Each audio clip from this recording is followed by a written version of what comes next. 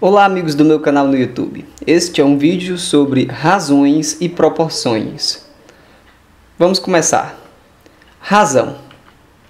Imagine que no ano de 2005 o preço da meia passagem aqui em Fortaleza era de 50 centavos e que agora em 2014 esse preço é de R$ 1,10. Para avaliar o crescimento do preço, o aumento do preço, você pode fazer uma continha de menos. Você pode fazer o seguinte: primeira forma de comparação, fazer 1,10 menos 50 centavos e obter 60 centavos, ou 0,60 reais de crescimento. Essa é uma forma de avaliar o quanto aumentou a passagem. Passou de 50 centavos para R$ 1,10, aumentou 60 centavos. Outra forma de comparação é você fazer a divisão dos dois valores. Então, você divide 1,10 por 0,50. Fazendo essa divisão, você obtém 2,2. Esta última forma de comparação é chamada de razão. Então, uma razão é uma divisão. Serve para você avaliar aqui, por exemplo, o aumento da passagem. Nessa primeira forma, você sabe que aumentou 60 centavos, só isso. Mas aqui na segunda forma, você pode dizer que a passagem mais do que dobrou. A passagem aumentou 2,2 vezes o que era antes. Então, essa forma de comparação é chamada de razão. Razão é um quociente, é uma fração, como a gente vai ver agora. Dados dois números A e B com B diferente de zero, chamamos de razão de A para B, ou simplesmente razão entre A e B nessa ordem, ao quociente a sobre B, que também pode ser indicado por A, dois pontinhos, B. Então, o que, que é uma razão? É uma divisão. Serve para quê? Por exemplo, serve para explicar um crescimento ou mesmo uma diminuição, como a gente vai ver nos exemplos e nos exercícios. O número A é chamado de antecedente e B é denominado consequente. Quando A e B forem medidas de uma mesma grandeza, elas devem ser expressas na mesma unidade de medida. Então, se o A for em quilogramas, o B também deve ser em quilogramas. Se o A for em metros, o B também deve ser em metros. O A é o antecedente, o B é o consequente. A fração, o quociente, o resultado é a razão. A ordem que a gente fala A e B então, o A é o numerador, B é o denominador. O resultado, a fração, é a razão. Então, aprendemos nesse primeiro ponto o que, que é razão. Proporção. Imagine que no ano de 2005 o preço da passagem inteira era de um real e agora em 2014 é R$ 2,20. A razão entre os preços da passagem inteira de 2014 para 2005 é 2,20 agora em 2014 sobre um real em 2005. Então o resultado disso é 2,2, o mesmo resultado quando a gente comparou as meias passagens. Então a gente pode dizer que 1,10 está para 0,50, assim como 2,20 está para 1,0, que na verdade é o mesmo que 1, como a gente sabe. Então, quando você tem uma igualdade entre razões, como é o que acontece aqui, a gente chama essa igualdade de proporção. Dadas as razões A sobre B e C sobre D, a sentença de igualdade A sobre B igual a C sobre D chamamos de proporção. Os valores A e D são denominados extremos e B e C são chamados de meios. Nós também dizemos que A está para B, assim como C está para D. Terceiro ponto: propriedade. Consideremos a proporção A sobre B igual a C sobre D, porque nós já aprendemos o que? Razões são quocientes, são divisões, são frações. E igualdade de razões, uma igualdade de razões é chamada de proporção, como o que a gente tem aqui. Com B e D diferentes de zero, a gente não pode dividir por zero. Né? Vale a seguinte propriedade. Se A sobre B é igual a C sobre D, então A vezes D é igual a B vezes C. Ou seja, os produtos cruzados são iguais. A gente pode ler assim: em toda proporção, o produto dos extremos, que são A e D, é igual ao produto dos meios, que são B e C. Justificativa. Se você tem uma proporção, ou seja, uma igualdade de razões, se você multiplicar de um lado e do outro por B vezes D, como aqui no caso, ó, o B vai cancelar com o B e do lado esquerdo vai sobrar AD. O D vai cancelar com o D e do lado direito vai sobrar BC.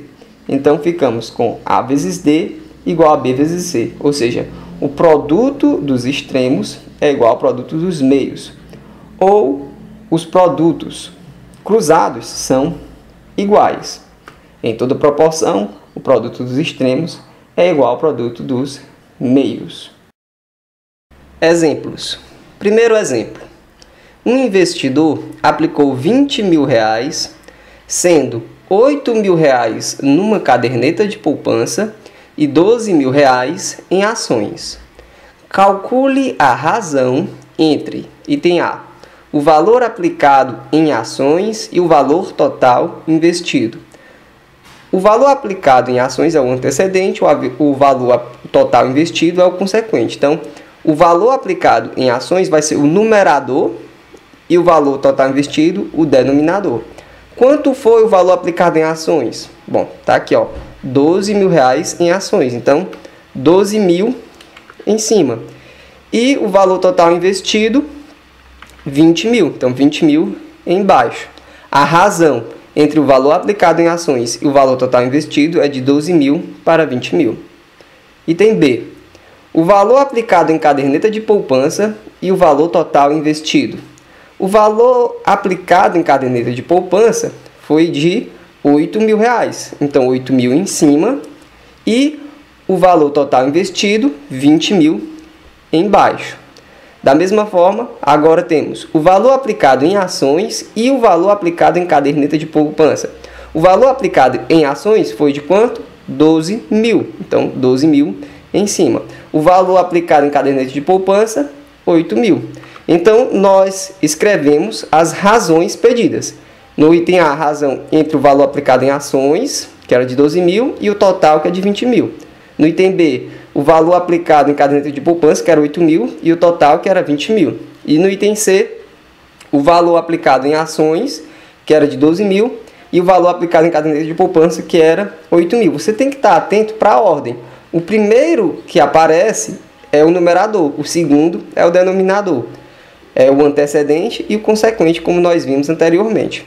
Se você quiser, você pode simplificar essas frações. Por exemplo, 12 mil sobre 20 mil. Simplificando por mil, em cima fica 12, embaixo fica 20.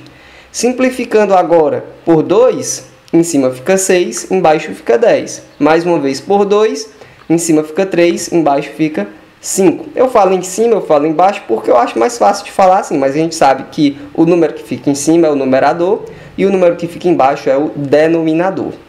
Essa é a nomenclatura correta. No item B, a gente tem simplificando por 1000, 8 sobre 20. Simplificando por 2, 4 sobre 10. Simplificando por 2 novamente, 2 sobre 5. E no item C, simplificando por 1000, você tem 12 sobre 8.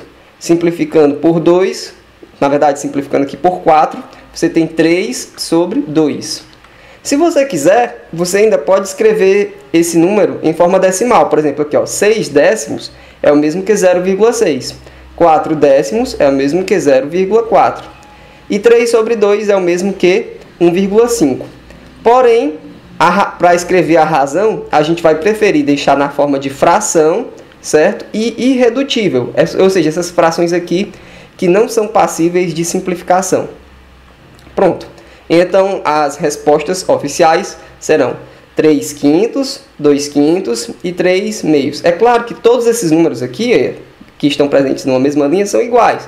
Mas eu só estou dizendo que eu vou preferir expressar a razão, né, que é uma divisão, que é um quociente, que é uma fração, como sendo a fração com é, uma fração que não dê mais para simplificar, ou seja, uma fração irredutível. Então, no primeiro exemplo, nós calculamos algumas razões. Exemplo 2. Um atleta A faz um determinado percurso em 52 minutos, ao passo que um atleta B faz o mesmo percurso em 1 hora e 8 minutos. Qual a razão entre os tempos gastos pelos atletas A e B? Qual a razão? Ele pede a razão, ele pede uma fração, não é? Na qual o numerador, ou seja, o antecedente, é o tempo gasto pelo atleta A e o consequente o tempo gasto pelo atleta B, ou seja, o numerador é o tempo gasto pelo atleta A e o denominador o tempo gasto pelo atleta B. Só que eu devo lembrar que quando escrevemos uma razão, é interessante que o antecedente o consequente, o numerador e o denominador, estejam expressos ambos na mesma unidade.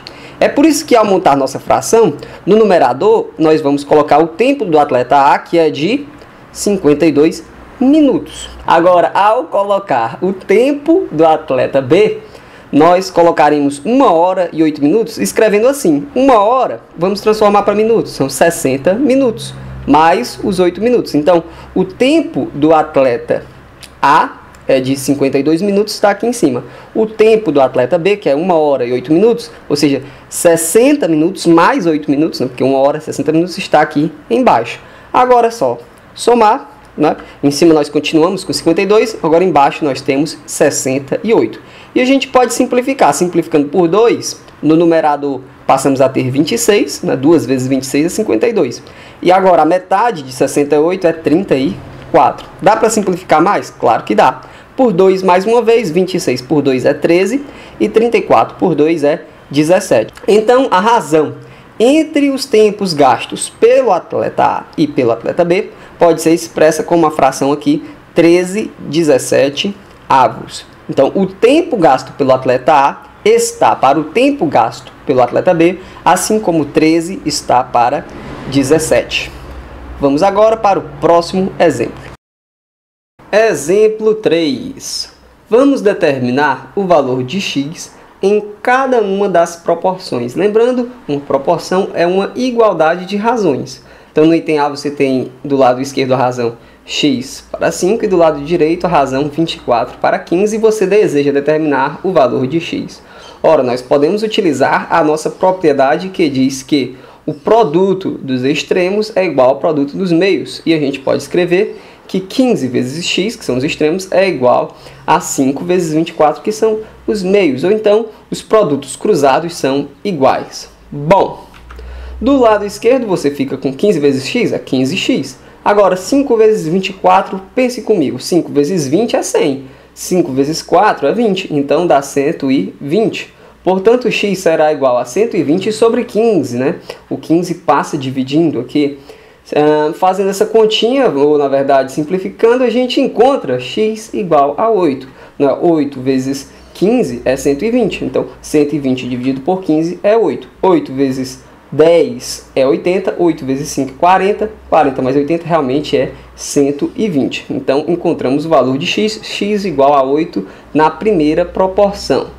Na segunda, a gente faz exatamente a mesma coisa, o uso da mesma propriedade. Que propriedade é essa? O produto dos extremos é igual ao produto dos meios. Então a gente pode escrever que 4 vezes 55 menos x, veja que é importante você colocar os parênteses, porque não é só 4 vezes 55, é 4 vezes isso tudo, 55 menos x. Então, aqui os parênteses, os produtos cruzados são iguais. Você vai ter 4 vezes 55 menos x igual a 6 vezes 3, que é o que você tem aqui do lado direito. Bom, agora é só resolver a equação.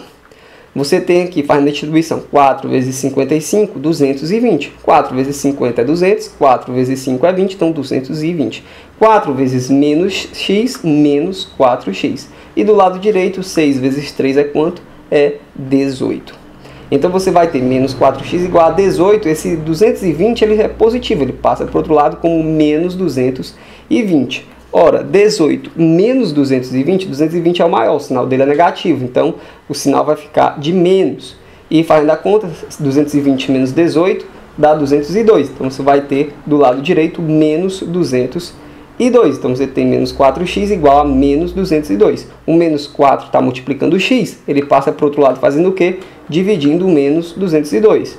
Ora, menos com menos, mais. Então na regra da divisão aqui, sinais iguais, resultado positivo. E 202 e 4 simplificando por 2, você vai ter em cima 101 e embaixo 2. Então, no item A você tem x igual a 8, no item B você tem x igual a 101 sobre 2. Então você percebe que para poder resolver o problema, além de ter conhecimento sobre a propriedade das proporções, que diz que os produtos cruzados são iguais, você também precisa saber resolver uma equaçãozinha dessa simples, equaçãozinha de primeiro grau. Vamos agora para o próximo exemplo. Exemplo 4. Uma empresa pretende alocar 200 mil reais entre pesquisa e propaganda, de modo que a razão entre as quantias seja de 2 para 3. Quais os valores alocados para pesquisa e propaganda? Primeiro, o que significa alocar? Para mim, significa disponibilizar, significa destinar. Uma empresa pretende destinar 200 mil reais né, para pesquisa e propaganda, de modo que a razão, ou seja, de modo que a fração corresponda a essa divisão dos 200 mil né, em duas partes seja de 2 para 3. Então, pesquisa estará para propaganda, assim como 2 estará para 3. Na verdade, o valor destinado para pesquisa estará para o valor destinado para propaganda, assim como 2 está para 3. Além disso, o valor da pesquisa mais o valor da propaganda tem que ser de 200 mil reais. Então, quais serão esses valores da pesquisa e da propaganda? Bom, vamos começar a resolução. Vamos chamar de X o valor alocado para pesquisa, aquele valor disponibilizado para pesquisa. Ora, o valor da pesquisa mais o valor da propaganda juntos tem que dar 200 mil reais. Então, se X é o valor alocado para pesquisa, 200 menos X é o valor alocado para propaganda. Eu estou colocando aqui 200, mas a gente sabe que está trabalhando com milhares, então é 200 mil. Então, a resposta vai dar em milhares de reais, ok? Então, seja X a quantidade de milhares de reais de, é, alocados para a pesquisa, 200 menos X é o que sobra, né? Você não tem 200 mil, então se você tira X, que é o da pesquisa, sobra o da propaganda. Então a gente tem os 200 mil reais divididos em duas partes, uma que a gente chamou de X e a outra que a gente chamou de 200 menos X, porque são só duas partes. Bom, esses valores, um vai estar para o outro, assim como 2 está para 3. Então, temos o seguinte, x, que é o valor alocado para pesquisa, está para 200 menos x, que é o valor alocado para propaganda. A ordem é muito importante, você tem pesquisa e propaganda nessa ordem. Então, x, que é o valor alocado para pesquisa, está para 200 menos x, que é o valor alocado para propaganda, assim como 2 está para 3. Então, pronto, você montou a proporção. Montada a proporção é só utilizar a propriedade das proporções, ou seja, os produtos cruzados são iguais. Então, você vai ter de um lado 3 vezes x, que é o produto dos extremos, e do outro 2 vezes 200 menos x, que é o produto dos meios. Veja a importância de se colocar os parênteses, não é? Porque a gente não quer só 2 vezes 200. Se você não tivesse os parênteses, o 2 ia multiplicar só o 200, mas não. O 2 aqui multiplica tudo isso, que é 200 menos x. Então temos 3 vezes x, que é 3x, igual a quanto? Bom, 2 vezes 200 é 400. E 2 vezes menos x é menos 2x. Esse menos 2x passa para o outro lado como mais 2x. Se encontra com esse 3x, faz a fusão e se transforma em 5x. Do lado direito você fica com os 400 que você já tinha. Ora, se 5 vezes x é 400, x é 1 quinto de 400. Né? O 5 passa dividindo. Ou em outras palavras, o x será igual a quanto? O x será igual a 80 pois 5 vezes 8 é 40. Então 5 vezes 80 é 400, um zero ali a mais. Então descobrimos o valor de x, não é? 80 é o quê? 80 reais? Não, 80 mil reais. A gente está calculando aqui em milhares de reais, não é? Então, 80 mil reais é o valor alocado para pesquisa, que era o nosso X. Ora, a outra parte é igual a quanto? 200 menos 80, ou seja, 120 mil. No caso aqui, 120 mil reais. Esse é o valor alocado para propaganda. Então, essas são as nossas respostas. Quais os valores alocados para pesquisa e propaganda? Bom, para pesquisa serão alocados 80 mil reais e para propaganda serão alocados 120 mil reais. Então, os 200 mil reais foram distribuídos nessa forma, para que pesquisa sobre propaganda fosse é, igual a 2 sobre 3. Esse foi o exemplo 4. Qualquer dúvida, utilize a seção dos comentários. Vamos partir agora para o próximo exemplo. Exemplo 5. Quinto exemplo. Uma pessoa recebe um salário mensal S. Quanto vale 2 quintos de S? Até falando, você já percebe o que, que deve ser feito.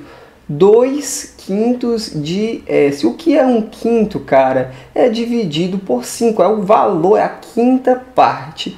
Então, 2 quintos é duas vezes esse valor.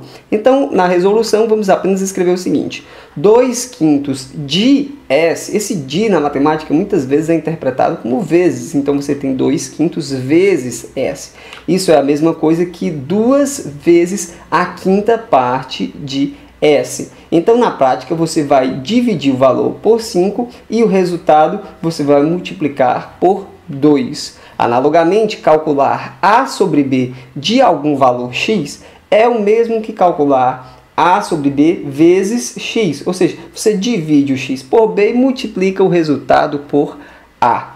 Então, você faz isso. Isso é importante porque muitas vezes a gente vai calcular ali uma razão de um valor. Então, você multiplica a razão pelo valor. Eu espero que você tenha compreendido porque nós vamos utilizar essa ideia agora no próximo exemplo.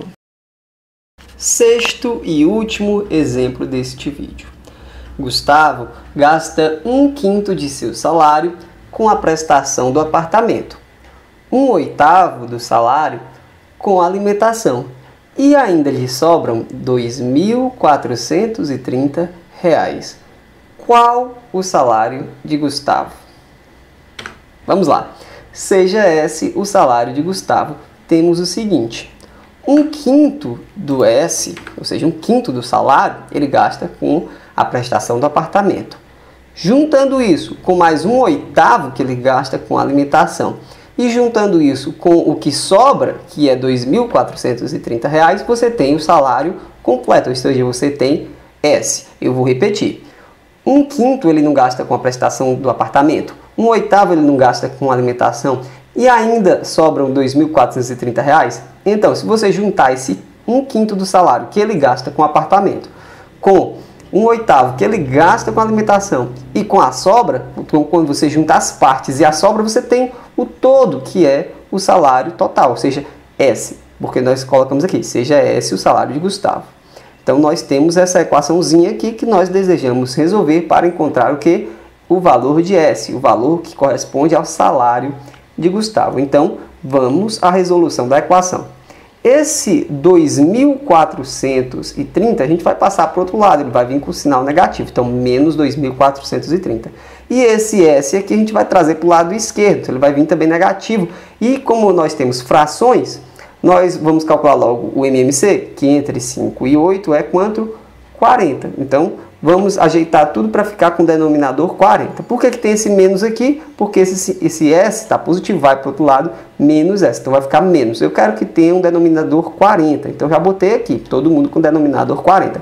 Como é que vão ficar os numeradores? Ah, é muito fácil. Você diz, você divide pelo número de baixo e multiplica pelo de cima. Ah, é? É. Então, 40 dividido por 5, 8. 8 vezes S, 8S. 40 dividido por 8, 5. 5 vezes S, 5S. 40 dividido por 1, eita, que 1 é esse, professor? É porque o S, cara, ele vai para o outro lado, menos S. E todo número é igual a ele mesmo dividido por 1. Então é como se ele tivesse um denominador 1. Então 40 dividido por 1, 40. 40 vezes S, 40S. Ou então você pode pensar assim, ó, 40 simplifica com 40, dá menos S. Então, quando você põe 40 em cima e 40 embaixo, é mesmo que não fazer nada. Mas a gente faz isso, porque aí vai ficar todo mundo com o mesmo denominador. E somar e subtrair frações com denominadores iguais é uma beleza, porque é só somar ou subtrair os numeradores. Então, vamos fazer vamos fazer o que aqui? Vamos arrumar a casa antes de prosseguir. Como assim arrumar a casa? Vamos multiplicar todo mundo por menos 1. A gente pode fazer isso? Pode sim. Então, ah, aqui você tinha menos 40s sobre 40, então em vez de menos vai ficar positivo, então vai ficar, botei aqui. Não precisa nem escrever o sinalzinho de mais aqui, porque quando não tem sinal assim a gente sabe que é positivo. Agora esse 8s sobre 40 está aqui, ó, menos 8s sobre 40. E esse aqui mais 5s sobre 40 está aqui, ó, menos 5s sobre 40. Eu fiz isso para que do outro lado, do lado direito, no lugar de você ter menos 2.430, você tivesse 2.430. Pronto. Agora vamos concluir. Bom, juntando essas duas frações aqui, você tem ó, menos 8s, menos 5s. Então você repete o sinal, que é negativo, soma os valores absolutos. 8 e 5 é 13, então menos 13s sobre 40. Ora, 40s menos 13s são quantos s? Ora, e 40s menos 13s são quantos s? Bom, 40 menos 10 é 30, menos 3 porque a gente tem que tirar 13, né? Tirei 10, ficou 30. Tirei 3, ficou 27. Então você tem 27S sobre 40 igual a 2.430. E aqui é só igualar o produto dos extremos com o produto dos meios. Professor, quais são os extremos? Só estou vendo aqui 27S. É porque aqui embaixo do 2.430 é como se tivesse um 1zinho. E 1 vezes 27S é 27S. Agora, 40 vezes 2.430 é quanto? Bom, esse valor, você faz a continha, eu não vou fazer a continha aqui, mas dá sabe quanto? 97.200. Então, 27S igual a 97.200. Aqui nós utilizamos a propriedade das proporções, imaginando que esse 2.430 está aqui sobre 1. Bom, uh, agora nós temos aqui 27S igual a 97.200. O 27 divide o 97.200 e você encontra o S sendo igual a quanto? 3.600. S é o valor do salário. Então, nós podemos dizer que o salário de Gustavo é de 3.600 reais. Este é o nosso último exemplo. Obrigado por ter assistido esse vídeo. Se você gostou desse assunto, você pode encontrar mais detalhes no livro Fundamentos de Matemática Elementar, volume 11, que ele trata de matemática comercial, matemática financeira e estatística descritiva.